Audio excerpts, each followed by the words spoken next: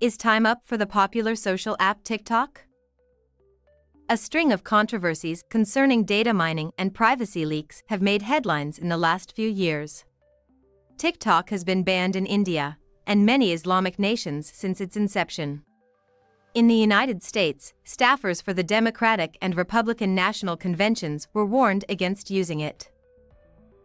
And the UK government quickly deleted its TikTok account in July 2021 because of its links to China and fears of possible hacking by the CCP. A year before, the CEO of Reddit branded the app fundamentally parasitic and spyware. Tech researchers have proven TikTok can do all sorts of covert tracking across all your apps and networks.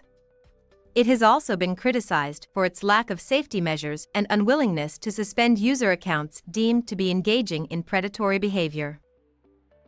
This is particularly concerning given the app's targeting of a younger age group. So is TikTok's time up?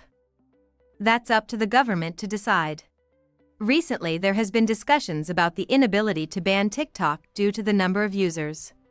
But at what cost? And who gets to pay that bill? There are two simple ways to reduce the risk for people who insist on using TikTok. Simply use a fake name and email address.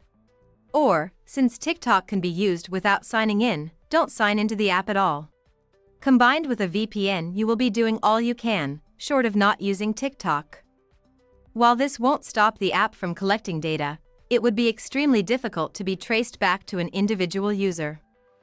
Now the big question is using TikTok any more or less risky than any other social networking platform?